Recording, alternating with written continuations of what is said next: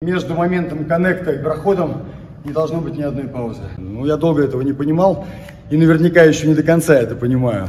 Вот теперь рассказывай про себя, что ты там детей тренируешь, что все. А, мы живем в Санкт-Петербурге. Джу, все, подожди, сейчас все, все, все, все, все. А! Давай, все, начали? Да? Uno,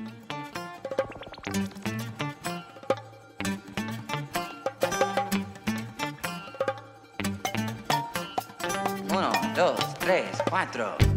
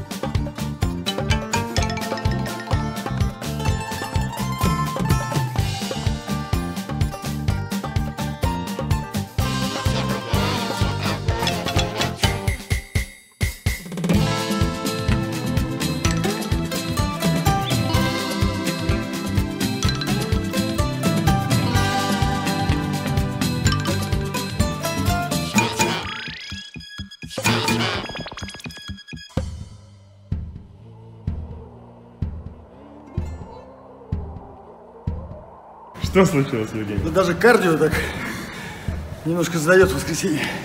В воскресенье грех работать. В церковь надо ходить. Всем привет! Э, Сегодня мы снова снимаем очередной выпуск Fix My Game э, Russian Edition. Мы находимся на бархатном кемпе от BG Flix. Если не знаете об этом, смотрите выпуски передачи. Сто процентов будут еще такие выезды. И пользуясь случаями, так как нам приехали гости из Питера, пользуясь этим случаем, я решил обратиться к Евгению Таракану с просьбой исправить мою игру. Привет, меня зовут Евгений Тараканов, э, Академия Scramble Санкт-Петербург, Team Russia. Э, Я занимаюсь джиу-джитсу около 7 лет, до этого была некоторая база грэплинг, ММА. Э, Детей тренирую 4 года, наверное 4. Э, В один момент я посчитал, что детские тренировки это более перспективно, это люди, которые будут идти с тобой очень долго и никогда тебя не бросят. Но взрослая команда у нас тоже есть, 30 плюс. Это мастерс 1, 2, 3, 4 и выше. Мы провели неплохой роллинг, очень понравилась борьба. Э, Ты, наверное, заметил у меня э, ряд э, определенных ошибок, и я хотел бы попросить тебя э, ну, расставить акценты, сказать, на что мне обратить внимание, на чем стоит поработать. Ну, прежде всего скажу, что ошибки есть у всех, независимо от пояса, это путь бесконечный. Но так как я должен а, обсуждать твои ошибки, то э, обсудим твои ошибки. В общем, я пытался работать э, Спайдер Ласса, и э, твоя главная ошибка, ты даешь э, растягивать себя, ты даешь заправлять лассу, и только позже пытаешься как-то как просто с- держать баланс. На самом деле нужно вводить превентивные меры и уже на моменте креветки и растяжки снимать хотя бы спайдер. Если ты не успел спай- снять спайдер, э, надо пытаться снять ласса, надо заблокировать руку и снимать ласса. Ну, это как бы две, две основные ошибки в работе спайдер ласса. Да, я заметил, что ты очень много играешь в Spider Ласса. Мне очень э, ну, понравилось, да. Э, И я действительно уже поздно реагировал и уже пытался просто как-то с- удержать баланс, чтобы э, ты меня ну, не, не слепанул. Но получалось по-разному. И если не сложно, можешь показать несколько превентивных мер, э, ну, как мне действовать, чтобы не было так легко заправлять Ласс. С удовольствием. Ба- Баланс и дистанция это уже хорошо, на самом деле. То есть, когда растягивать, прежде чем сделать, э, заправить лассу, человек обязательно сделает креветку. И уже в этот момент нужно отыграть захват спайдера. В принципе, я его уже от- отрезал еще раз. Я, я понимаю, что мне стоит бояться, да. Нога прямая, я не могу дотянуться. Давай вернемся. Пока. Стой. Вот в таком положении руки гуляют свободно. Если ты меня растянул, да, я уже не могу дотянуться. Но я коленом складываю твою ногу, подламываю, обхожу и двигаюсь в сторону колена. Дальше, если ты ни- ничего не заправил, просто могу скинуть вторую ногу. Если э, я не успел, по каким-то причинам, да, ты заправляешь ласса. Опять же, я вторым темпом все это снимаю и далее работаю с лассой. Очень многие пытаются пройти сюда, часто это опасно, ты идешь на свип. Как бы мне больше нравится заправлять глубже, даже когда ласса за- заправлена глубоко. Я разрываю дистанцию, вытаскиваю крюк, дальше вставляю одну ногу и на логарек вторую. Далее обрываю захват. Еще раз. Можно их забрать. Заправили лассо. Да, ну тут я уже везде опоздал.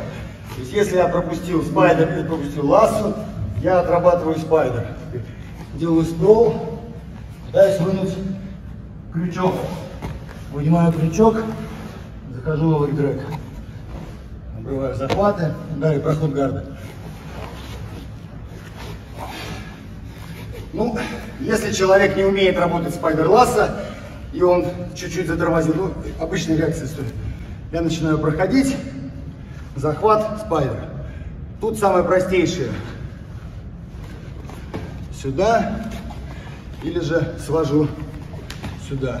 Ну, обычно в старших поясах это не работает, ты не успеешь это сделать. Спасибо. Спасибо за подробный ответ. А, Что касается X-гарда, я дал тебе заправить X-гард, ну, специально, чтобы показать, как я его сушу и как я его пытаюсь проходить. Есть э, много других вариантов, Алексей Владимирович сегодня показал мне интересные проходы, но у меня есть своя наработочка одна, А, попробуем.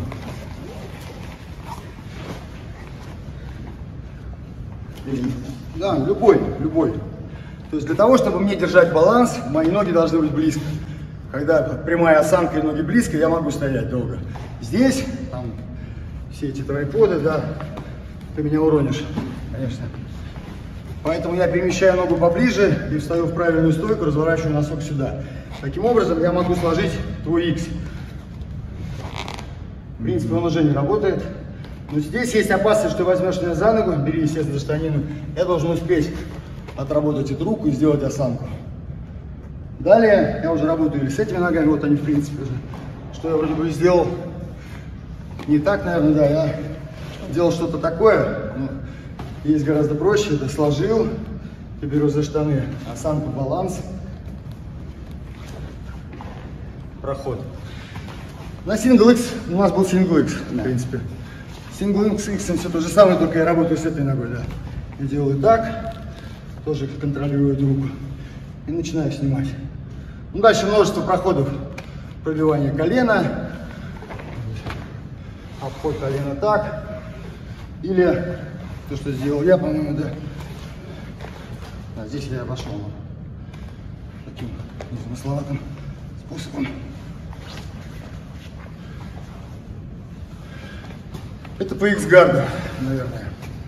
Возможно, есть То, что я э, заметил. какие-то э, замечания. Я очень часто чувствую трудности в проходе гарда. Возможно, э, ну, ты заметил какие-нибудь ошибки и знаешь, э, что нужно, ну, возможно, исправить э, в плане осанки, баланса. А, ну, что касается прохода в гарда, первая ошибка, часто встречающаяся, самая, это когда человек берет захват и делает паузу. Между моментом коннекта и проходом не должно быть ни одной паузы. На самом деле эта пауза отрабатывается на тренировках. Ложись. Очень часто мы подходим, давай, поднакрутил, я буду проходить. Вот это как раз есть, мы нарабатываем нейронную связь, которую потом придется растаптывать, эту тропинку. Это должно быть важно, если ты взял, ты сразу должен идти на проход. Поэтому я успевал проходить иногда тебя, потому что ты не успевал даже взять за штаны. Но в остальном мы прошли семинар Анатолия Абрамова, он показал прекрасные проходы, как человека загнать в хавгард и медленно его разламывать. Но это трудно, такая трудозатратная, я считаю, как бы работа. Мне больше нравится двигаться, работать на скорость, на тайминг. Итак, э, назовем это концепция Connect действия. Э, ну, ранее я часто слышал, что борьба черных поясов – это борьба за захват. И как только человек получает правильный захват, э, в общем-то, исход уже решен. Исход прохода, исход свипа, исход болевого. Ну, я долго этого не понимал и наверняка еще не до конца это понимаю. Но сама мысль такова, что если ты взял правильный захват, ты должен сразу работать. Не должно быть паузы, не должно быть раздумий. То есть э, я вижу финиш, уже стоя здесь. То есть я, я знаю, что мне нужно делать. Это не стартовая позиция. Стартовая позиция, когда у нас нет захватов. Самый проход- правильный проход гарда – это проход открытого гарда. И кто за- заберет захват, тот э, берет инициативу. Евгений, э, покажите мне несколько способов, как это, возможно, нужно отрабатывать, э, ну, эту концепцию. Ну, Хорошо, ложись. А, Ну, скажем так, первое знакомство с техникой я всегда даю как детям, так и взрослым пошаговое.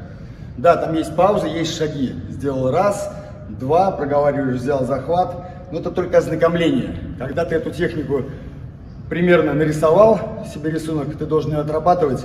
И я заставляю отрабатывать ее в режиме slow motion, скажем так. Ну, да- даже здесь, например, да, вот из, из такой позиции. То есть, когда я забираю захват, чтобы не было раз, два, забираю, я сразу прохожу, пусть я это делаю медленно, медленно и на одной скорости, чтобы не было рывков. Для того, чтобы это правильно прописалось э, в нашем мозгу, чтобы была четко построена нейронная связь. Э, Первое это что? Стараться работать на одной скорости, без ускорений, без замедлений, чтобы запись была, была правильная. Второе, естественно, контролировать захват. Э, Делать, исключать паузу между захватом и проходом. Это должно быть одно движение. Пусть это даже движение вперед-назад, но это одно движение. Я беру. Хорошо. Я положил, например, ноги, кла- кладу руки, сразу же двигаюсь. Чтобы это было максимально плавно, максимально без единой малейшей паузы. Ну, я считаю, что такая наработка способствует потом пр- правильной борьбе.